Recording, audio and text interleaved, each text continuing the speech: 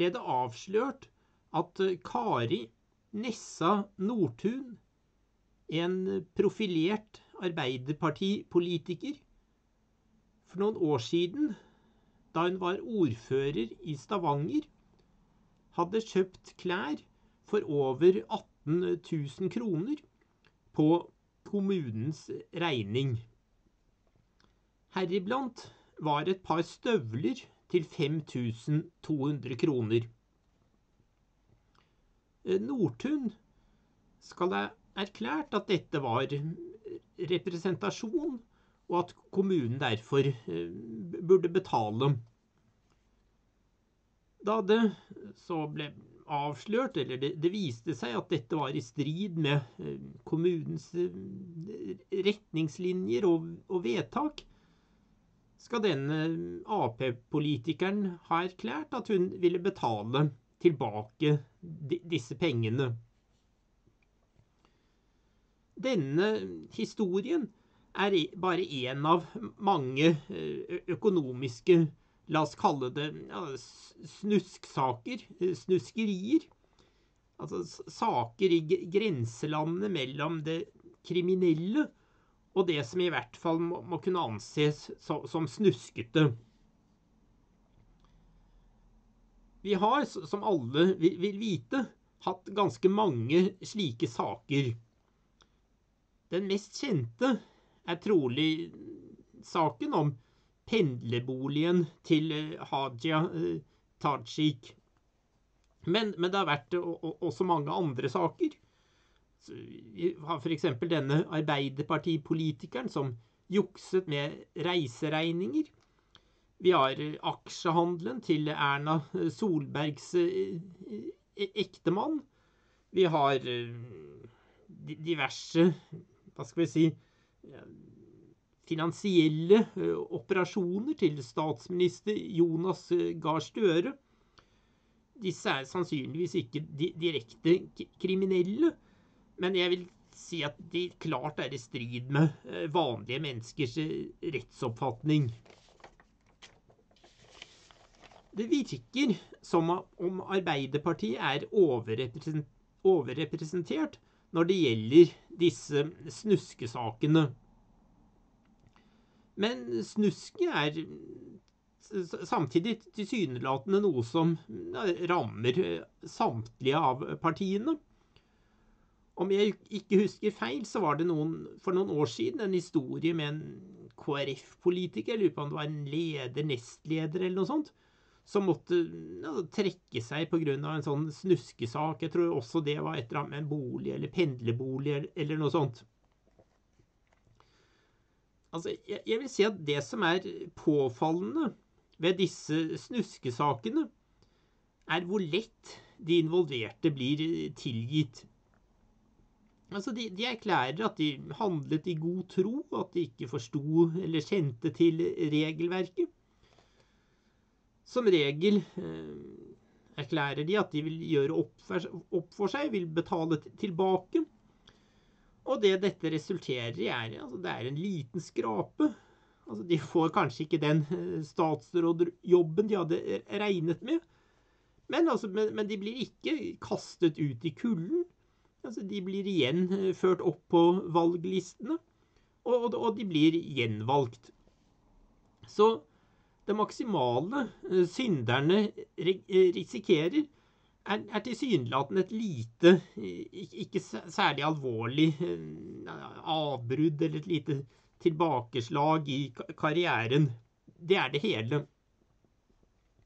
Dette er i sterk kontrast til hvordan vanlige mennesker i dette landet behandles. Altså, altså Nav-klienter som har fått for, for, for mye penger, altså de, de, blir faktisk kastet i fengsel for, for, dem hjelper det ikke å påberope seg at de ikke forsto regelverket. Altså. Der, der, er staten eh, nådeløs. En vanlig butikktyv risikerer livsvarig yrkesforbud. Så liksom, kontrasten mellom hvordan politikerne behandles, og hvordan vanlige mennesker behandles, er jo virkelig stor. M. Så kan vi spørre hvorfor har vi fått alle disse snuskesakene blant det som omtales som våre folkevalgte? Så jeg, jeg tror at den viktigste grunnen det er trolig at Norge i dag er et forholdsvis rikt land. I hvert fall langt rikere enn, en vi var for noen tiår siden. Altså, de, den gang Norge var et ja, forholdsvis fattig land, altså før vi hadde olje osv., så, så, så, så var det slik at uh, folk som var valgt til å representere en gruppe, til, til å re representere noen, noen andre, altså det være seg folkevalgte, politiske funksjonærer eller, eller fagforeningsledere, altså de, de, skulle leve altså, beskjedent. Altså det, det, å være folkevalgt skulle i hvert fall ikke være en måte å gjøre seg rik på. Men altså, nå som vi har blitt et uh, rikt samfunn, så har dette nøysomhetsidealet åpenbart uh, gått uh, tapt. En annen grunn til denne snuskekulturen vil jeg påstå er det forhold at altså, politikerne i, dag knapt har noen berøringspunkter med vanlige folks liv. Altså Før så, så, så var det slik at altså, arbeiderpartifolk, arbeiderpartipolitikere, altså de var, var ofte ja, vanlige arbeidere, arbeidsfolk. De hadde gjerne liksom, kommet seg opp liksom, via fagforeningssystemet. Høyrefolk de var ja, direktører, bedriftsledere. Og, og, og venstrefolk var, var, gjerne lærere. Så liksom de, altså alle på en eller annen måte involvert i, la oss kalle det, det virkelige liv. Men i dag er det jo slik at eh, politikerne altså de, de har ofte ingen erfaring altså utenom liksom, livet i de politiske ungdomsorganisasjonene, pluss eventuelle studier.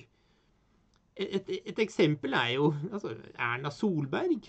Altså, den eneste virkelige jobben hun, hun, hun, har hatt, var vel at hun en kort periode da hun var ca. 20 år, Eh, gammel, var liksom leder for liksom, operasjon, Dagsverk, altså lønnet leder for det. Det, er det nærmeste hun har hatt en, en, en, vanlig jobb. Så politikerne har i dag blitt en, la oss kalle det en, en kaste. Og, og, jeg tror liksom denne, liksom det at de har blitt en kaste, en privilegert uh, kaste, det har, har rett og slett gitt dem en følelse av overlegenhet altså, overfor vanlige mennesker. Altså, de liksom tenker tilsynelatende at det som gjelder for vanlige mennesker, det, det gjelder ikke for dem. Dessuten, og det, tror jeg også er et moment her, er, at det, sannsynligvis er lett å få, la, oss kalle det, dårlige venner dersom en er politiker. Altså, Dersom det virkelig er slik at det er mye snusk på, på Stortinget, og i andre eh, folkevalgte organer. Og alt eh, tyder på at det er det. Det, er virkelig my mye snusk der. Så, så, er det selvfølgelig vanskelig for, for nyvalgte representanter ikke selv å, å, ty til ulovligheter. Så jeg, jeg, jeg tror de, liksom, når de havner i dette la oss kalle det belastede miljøet, så, så liksom, er det lett å tenke slik. Hvorfor skal ikke jeg jukse meg til noe, når, når alle de andre gjør det? Men, men, altså uansett hva, hva, som måtte være grunnen til dette ja, snuskeriet, så, så, er det et, selvfølgelig et eh, forfallstegn. Altså, vi styres i dag av en elite, altså elite da i gåseøynene, som har lite til felles med menneskene de hevder å representere. Og, og jeg vil si at altså, snuskeriet kan betraktes som et uttrykk for forakten våre såkalte folkevalgte har for vanlige mennesker. Altså, en, en, en spør seg unektelig altså, Hvorfor skal en privilegert elite som lever i en, la, la, oss kalle det boble, godt skjermet fra vanlige menneskers liv og problemer Altså, hvorfor skal de, hvorfor skal de kunne vedta lover som er til beste for folk eh, flest. Altså, altså politikk det, det er i dag, vil jeg hevde, blitt redusert til et spill som ikke betyr noe som helst for, for vanlige mennesker. Så vi har hatt røde, rødgrønne, blå osv. regjeringer. Men altså, jeg vil påstå at ingenting har endret seg. Altså, jeg har i hvert fall ikke merket noen som helst endringer som følge av alle disse regjeringsskiftene. Jeg har betalt like, omtrent like mye i skatt og fått omtrent de, de, de samme ytelsene fra, fra, staten, så det spiller ingen rolle for meg, og jeg tror for nesten alle i dette landet, hvem som regjerer. Og, og det må jo være mange tiår siden det her i landet ble vedtatt en reform som, som virkelig betydde noe for, for, vanlige mennesker. Jeg kan, kan ikke huske når, dette siste ble, når det siste gang ble vedtatt no, noe sånt. En, en, annen grunn til, til, forfallet i den politiske eliten, og, og elite da igjen i, i, gåseøynene, er at eh, medlemmene av eliten åpenbart drømmer om å, om å gjøre internasjonal karriere. Det, det, det, er jo slik at en, en mengde norske ekspolitikere har, har, faktisk gjort internasjonal karriere. altså Jens Stoltenberg han ble jo, som alle vil, vil vite, Natos generalsekretær. En annen Ap-leder og tidligere statsminister, Torbjørn Jagland, han ble generalsekretær for Europarådet. Og vi har hatt andre nordmenn hatt internasjonale toppjobber ja, knyttet til flyktninger, eh, klima- og miljøspørsmål osv. Så, så, så, så det er jo knapt noe land det, det er liksom ekspolitikere har liksom hatt så mange toppjobber som Norge. Altså, vi, vi, får høre at dette er bra for Norge, og at dette er noe vi bør være stolte over. Men altså, jeg, jeg vil si at i virkeligheten så, så er det slik at, at, at, vi, altså vi vanlige nordmenn, vi må betale en høy pris for at medlemmer av eliten skal få disse toppjobbene. Altså, vi, vi, må være verdensmestere i miljøtiltak, altså, selvsagt til skade for eget næringsliv. Vi må ta imot en mengde flyktninger. Vi må ruste opp. Vi må delta i kriminelle angrepskriger. Og vi blir i realiteten tvangsvaksinert med eh, eksperimentelle, eh, potensielt eh, farlige vaksiner. Så vi lever kort sagt i et uh, søppeldemokrati, der, der, valg knapt uh, betyr noe. Der uh, politikerne der de utgjør en privilegert kaste som lever i sin egen, la oss kalle det, boble. Og der målet for våre fremste såkalte folkevalgte er å gjøre internasjonal karriere. Jeg, jeg, jeg, tror at mange i, i denne situasjonen da, de, de, har rett og slett eh, resignert. Men, men like fullt så, så, så, er de ikke totalt avvisende, e, enn si opprørske, eh, i, i, forhold til dette søppeldemokratiet. Jeg, jeg tror mange resonnerer omtrent som følgende. Politikk er revestreker.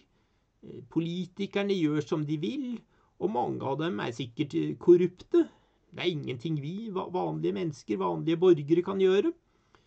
Utenrikspolitikk har vi i hvert fall ikke greie på. Og hva den norske stat gjør i utlandet, vil vi helst ikke tenke på. Jeg, jeg, jeg tror veldig mange vanlige mennesker tenker på denne måten. Men samtidig så, så, sier de men vi har tross alt en velferdsstat og et eh, rimelig bra pensjonssystem. Og, og derfor protesterer vi ikke, men, men gjør vår såkalte borger, borgerplikt ved å, ja, ved å betale skatt og ved å delta ved valgene. Så etter min mening er dette en farlig måte å tenke på. En gjennomkorrupt elite, og, og elite da igjen i, i gåseøynene, som av hensyn til egne eh, karrieremuligheter bomber folk som aldri har gjort oss noe ondt, eller som utleverer sin egen befolkning til den internasjonale eh, vaksineindustrien. Altså, en slik elite, eh, slike folk, de vil selvfølgelig kunne, de vil kunne avskaffe hele velferdsstaten. Um, det, man blir jo ganske nedtrykt av dette. Altså, kanskje er det altså, Kanskje er det hele håpløst. Det, det, det, det er mulig at liksom, det eneste man kan, kan gjøre, er å altså, bare boikotte valgene. Så, så, slipper man i hvert fall å, å, å, skitne seg til ved å delta i dette søppeldemokratiet. Kanskje er det beste en kan gjøre, bare å lese en Agatha Christie-fortelling på, på, valgdagen og, og, prøve å glemme det hele. Det, det, det, er mulig det er slik. Men, men, for at dette da ikke skal ende i, den, i, i det svarteste av alle svartsyn, så, så, vil jeg likevel peke på et par tiltak som, som dersom det var vilje til det, kunne bidra til å erstatte eh, dagens eh, søppeldemokrati med et vir virkelig folkestyre. At vi, vi kunne erstatte eh, listevalg med personvalg. Vi kunne gi velgerne anledning til å trekke tilbake mandatet til en folkevalgt de, var misfornøyd med. Vi kunne gi folkevalgte en, en lønn lik gjennomsnittslønnen i samfunnet. Vi kunne tvinge statsråder, eh, stortingsrepresentanter og toppembetsmenn til å undertegne en erklæring om at de ikke vil tiltre stillinger i utlandet, og at de er innforstått med at de vil tape eh, sin pensjon og øvrige rettigheter dersom de gjør det.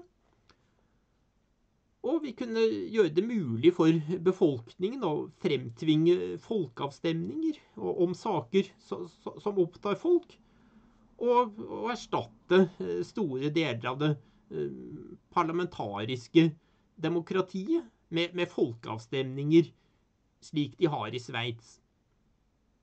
Takk for oppmerksomheten.